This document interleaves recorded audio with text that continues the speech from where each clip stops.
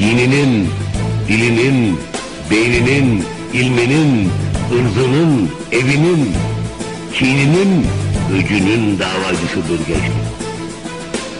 Halka değil, hakka inanan, meclisinin duvarında hakimiyet hakkındır düsturuna hasret çeken, gerçek adaleti bu inanışta ve halis hürriyeti hakka kölelikte bulan bir gençlik. Tohum saç, bitmezse toprak utansın. Hedefe varmayan mızrak utansın. Hey gidi küheylan, koşmana bak sen.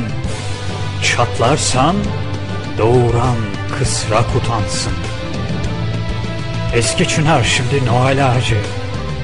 Dallarda iğreti, yaprak utansın.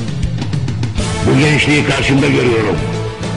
Maya tutması için 30 küsur yıldır devrim kodamanların viski çektiği kamıştan bollarla ciğerimden kalemime kan çekerek yırtındığım, kıvrandığım ve zindanlarda çürüdüğüm bu gençlik karşısında uykusuz, susuz, ekmeksiz, başımı secdeye mıhlayıp bir ömür Allah'a hamd etme makamındayım.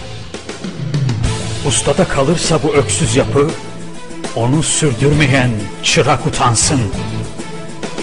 Ölümden ileride varış dediğin, geride ne varsa bırak utansın.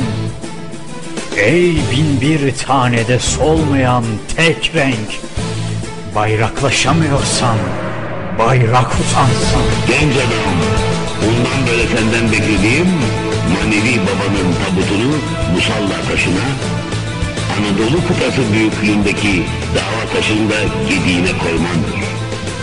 Surda bir gedi kaçtı, mukaddes mi mukaddes, ey kahve rüzgar artık ne yandan eserseniz. Allah'ın selamı üzerine olsun.